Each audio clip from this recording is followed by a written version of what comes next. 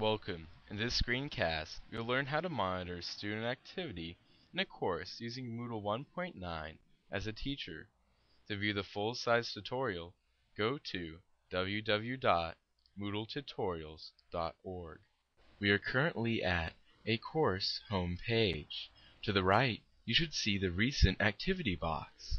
This box is the easiest way to monitor student activity. You may simply click a link to see the activity. For example, we will select a new student.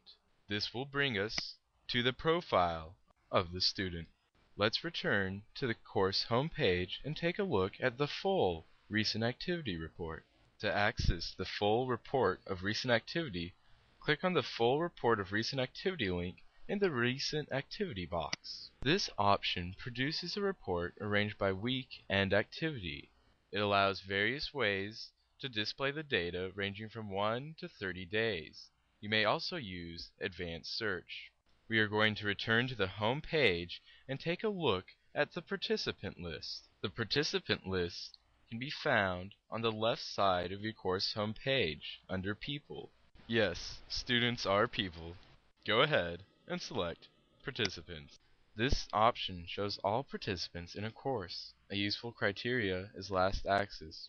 This enables you to check to make sure students are at least logging in. Let's select a student to view an individual report. This will take you to the student's profile. To see the activity reports, select Activity Reports from the upper tabs. This will bring you to Activity Reports. There's various options, but we're going to take a look at all logs.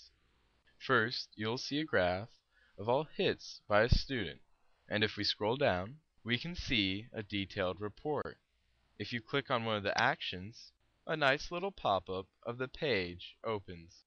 We will now return to the course home page to list one more available option to monitor student activity. The final option to monitor student activity is Reports, available in the administration box under the text Reports. This will be covered in another tutorial.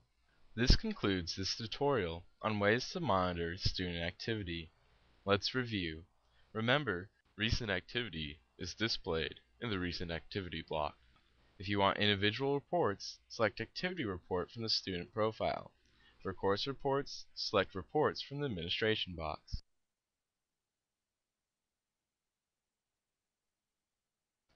To view the full-size tutorial, go to www.moodletutorials.org.